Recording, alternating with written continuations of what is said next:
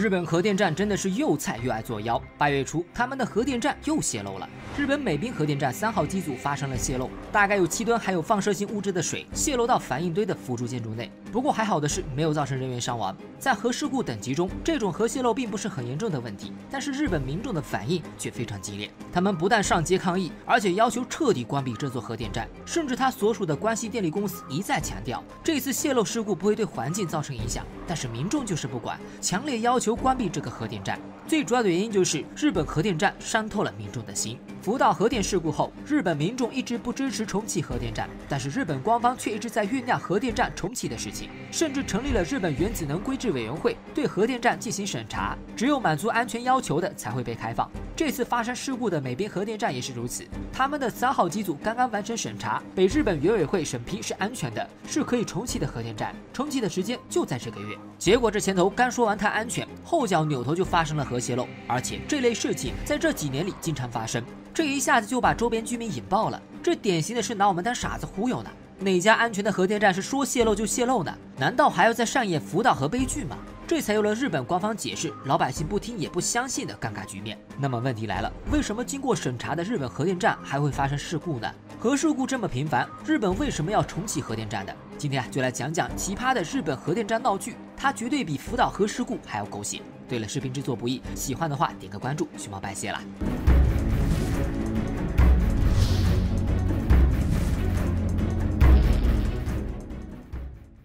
日本核电站曾经比中国还要先进，甚至说是中国仰慕的存在。巅峰时期，日本拥有五十多座商业的核电发电厂，还供应着日本百分之三十的电量，核电厂数量和发电量都是亚洲第一。而作为对比呢，中国当时的核电机组仅有十三台，提供的供电量连百分之三都不到。当时日本有几个世界之最，其工业被认为是最严谨、最务实和精细的国家。而核电站也被公认为是世界上最先进、安全度最高，甚至管理最完善的核电技术国。很多国家甚至连日本的民众都没想到，日本的核电站会在日后迅速崩盘。其实，日本在福岛核事故之前，他们的核电站隐患就已经多次发生了。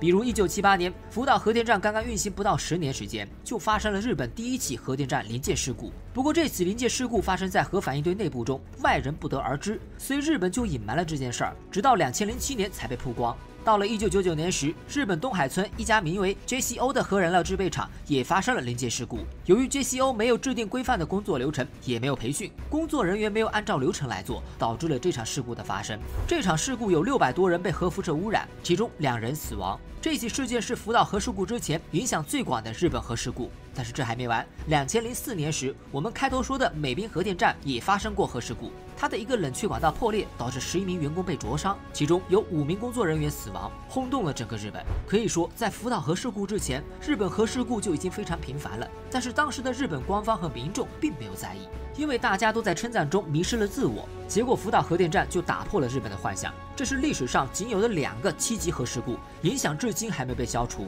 福岛核事故后，日本就成立了原子能管制委员会，并且对全国核电站进行停运审查。然后这才发现一个惊人的问题：日本几乎所有的核电站都有安全问题，要么是流程不到位，要么是设备和建筑有问题，真正符合安全标准的寥寥无几。所以在很长一段时间内，日本的大部分核电站都处于关闭状态。目前仅有六座核电站还在运营当中。按理说啊，有了福岛的教训、隐患排除以及原子能委员会监管的三重因素下，日本仅剩的核电站安全应该会好很多。然而现实却是截然相反，仅仅这六座核电站就贡献了多起核事故。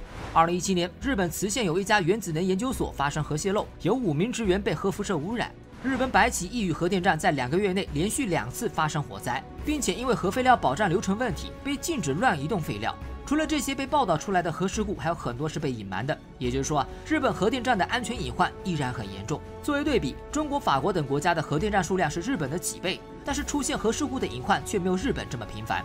尤其是中国在核电机组上已经超过了日本，在建数量也是世界第一，更有全球领先的第四代核电技术。那么问题来了，日本这么发达，他们的核电技术是怎么落后的？为何核电站频频发生核事故，却仍要重启核电站呢？答案其实非常狗血，根本的原因是日本只想要核电站发电的好处，却不想承担核电站附带的责任。日本核电站大部分都是私企，考虑的是成本和效益，而且技术都是从老美那里引进来的。当时老美通用电气和西屋公司将军舰的核动力技术进行商业化，他们将军舰的核动力堆改造成一种更容易建造、占地更少的核电站，而这种核反应堆深受日本电力公司的喜爱。日本本身土地少，这种不考虑占地面积，而且简单易造的核电站，无疑是一种物美价廉的好东西。所以日本就大量建造这种核电站。然而物美价廉的代价也很严重，就是安全性大大降低。我们来看一下这张图，这是废水堆的结构图，这是核反应堆，这是涡轮，然后管里面有大量的冷却水，这三个是一个闭环。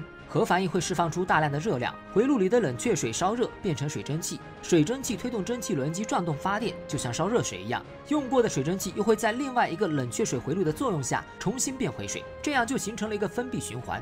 但这样的设计存在相当大的隐患，一个是闭环内的水是与核燃料直接接触的，它里面有大量的水是受到污染的；二是冷却水的回路是靠内外两个泵来完成冷却的。正常运转下，这种核电站的安全当然是没有问题的。但如果遇到突发情况，导致泵出现停电或者故障，冷却水回路就没办法循环了，反应堆会持续的发热，源源不断的将管内的水烧成蒸汽，然后管道的压力越来越大，蒸汽管道就像一个高压锅一样，很容易爆炸。如果蒸汽管出现破损，带有放射性物质的蒸汽就会扩散到大气中，污染环境。其次，温度极高的蒸汽也会灼烧工作人员。两千零四年时，美滨核电站就是发生管道破裂，不仅造成了十多名员工被灼伤，也造成了放射性污染。废水堆的安全性一直饱受诟病，尤其是切尔诺贝利核电站事故后，很多国家都不用废水堆了，但是日本却并不在意，或者说他们也没办法。因为他们的核电机组大部分是在一九七零年到一九八五年代承建的，其中百分之八十都是废水堆和压水堆，而且第二代核电站设计的年限一般是四十年。按照这个规定，日本起码有百分之六十的核电机组已经超过了服役期限。这种技术落后还年代久远的核电站不出问题才怪。按道理来说，此时应该进行升级换代，而不是修修补补继续使用。但是日本却并没有这么做，因为他们的核电站早就私营化了。当初日本政府为了减轻财政压力，还将核电站下放给私人电力公司运营，让他们自负盈亏。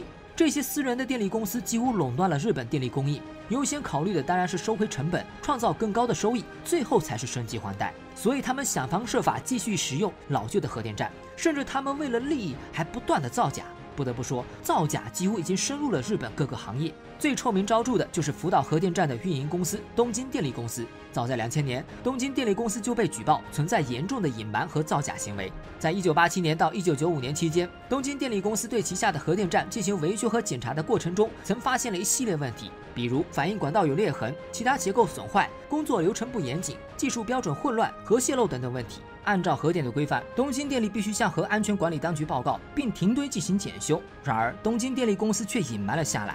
因为一旦上报，核电站不仅要停止运行，而且还会引来上级部门的调查和监管，将会亏损一大笔金钱。所以，东京电力公司选择隐瞒这个消息，编造了一些虚假的检查报告，用来应付上级监管部门，甚至上级部门也帮着他们一起掩盖一些证据。后来，老美提供技术的通用公司都受不了了，亲自下场提供检查资料，这才让东京电力承认自己的罪行。结果就是高管辞职、鞠躬，然后了事。福岛核电站继续运行，但是他们并没有吸取教训，最终害苦了整个福岛人民。很多人说福岛核事故是人为悲剧，其实是有一定道理的。因为在福岛发生爆炸以前，有很多次可以进行挽救的机会，比如用海水冷却反应堆等。但是他们为了保住核电机组，错失了一个个宝贵的机会，硬生生的将一个四级的核事故拖成了七级。福岛核事故后，日本核电站终于被迫停运，接受更加严格的审查。但是依然有人不顾日本核电站的现状，不改良升级，而是一直在找法律的漏洞，酝酿重启核电站。就连日本自己的核能专家都说，不管是政府还是核电站，日本都没有做好准备。比如细川荣久就公开说，日本是一个不确定因素太多的国家，核电站的安全保障还不能让人完全放心。他们甚至组成了一个反核电站的组织，经常游行抗议。但是这些警告都没能阻挡日本的决心。至今有十三家核电站在申请重新启用。那么问题来了，日本核电问题这么大，为什么还要坚持重启核电站呢？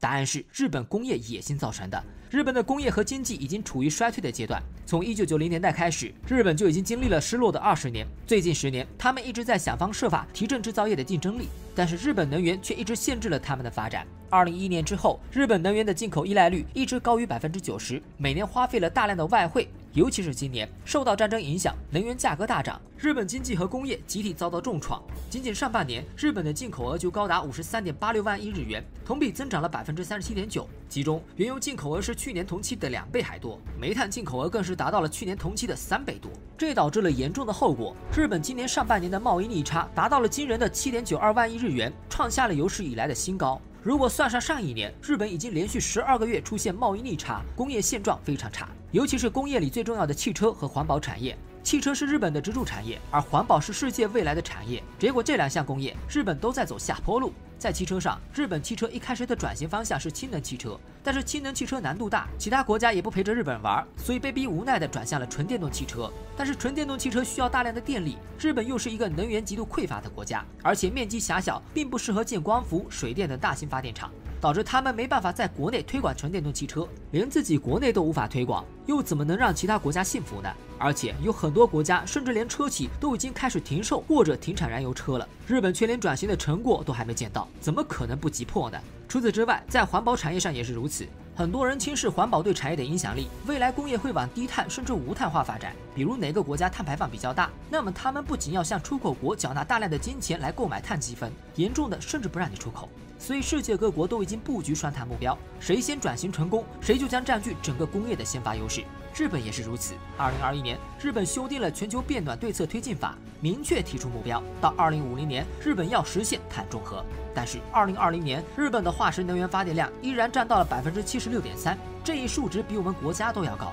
所以不管从哪个方向，日本都需要一项能稳定提供电力的清洁能源。曾经供应日本百分之三十的核电，无疑是一个绝佳的选择。但是日本真的能成功吗？实际上，如果日本真的想做，还是有希望成功的。目前市场上主流的核电站是第三代核电技术，比如我国的华龙一号。华龙一号是在二代核电技术的基础上增加了一项非能动的安全措施，这项措施能够保证核反应堆在完全断电的情况下，依然能够得到足够的冷却，避免最危险的堆芯溶解危机。如果日本采用这些先进技术重建核电站，安全问题将得到很大的改善，像福岛核电站那样严重事故的发生概率将会极大降低。而且日本是有能力这么做的。他们在第三代反应堆上的起步比我们还要早得多。早在两千零六年，日本东芝就收购了老美的核电巨头西屋电器，而西屋电器就有当时最先进的第三代核反应堆技术 AP 一千技术。而且日本也建了几座先进改良的废水堆和压水堆核电站。然而，二零一一年的福岛核电站事故重创了世界的核电发展，很多国家停止扩张核电，甚至德国等国家完全抛弃了核能发展。日本在建的第三代核电站也陷入停工或者审核当中。看到这边，有些小伙伴可能反应过来了，那复工或者加快审批不就完了吗？实际上矛盾就在这里。一般按照规定来说啊，重启核电站的标准审查是两年时间的处理期限，但是日本核电站重启审查仍然不断超期。以北海道的博奇核电站为例，从申请重启审查开始，已经超过了八年时间，但是到现在仍然没有完成批复。说实话，也不是他们不批复，确实是日本核电站太拉垮了。日本核企大部分都是私营的，他们不愿意推倒重来，只希望通过修修补补再用个十年，只要保证不出现大问题就可以。所以他们就一边整改一边申请重启。原先日本原委会还睁一只眼闭一只眼，试着让少部分核电站重启试水，结果有些核电站实在是扶不起呀。我这个月刚批复，下个月它就爆雷了，日本民众都快成惊弓之鸟了，对于日本原委会的信任迅速下降。根据日本朝日新闻的民调显示，有超过百分之五十七的民众反对重启核反应堆，其中有百分之八十都不信任日本政府的核安全措施。作为核电站的主要监管部门，日本原委会特别尴尬，生怕被这群核企连累。除此之外，日本委员会在审查中还发现了一个致命问题：日本的核废料处理技术同样拉垮。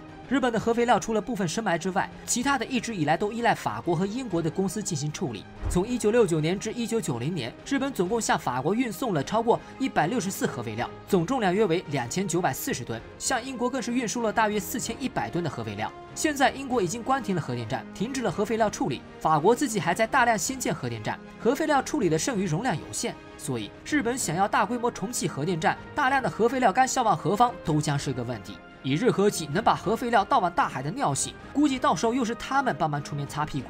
所以日本原委会不但没有加快审批速度，反而认真审核起来。他们要求日本核电站必须满足所有的安全标准，才能通过审批重启。甚至连日本首相出面求情都没用。日本委员会委员长反而内涵首相和核企，说，对安全的追求无法妥协，想要审查速度，电力公司自己需要努力。言外之意就是啊，让他们先把自己的屁股擦干净，再提要求吧。所以你看，矛盾就在这里。自私的电力公司只求利益，自保的官方想要保住乌纱帽，苦的就是冒着生命危险的老百姓和陷入电荒的日本工业。每到这个时候，熊猫就想起，中国将电力、交通、金融的民生掌握在自己手里，是一件多么无比正确的事情。至少他们可以不用考虑盈利，甚至做出巨大的牺牲，做对我们整体有利的事情。好了，我是熊猫，都看到这边了，麻烦给个赞呗。我们下期见。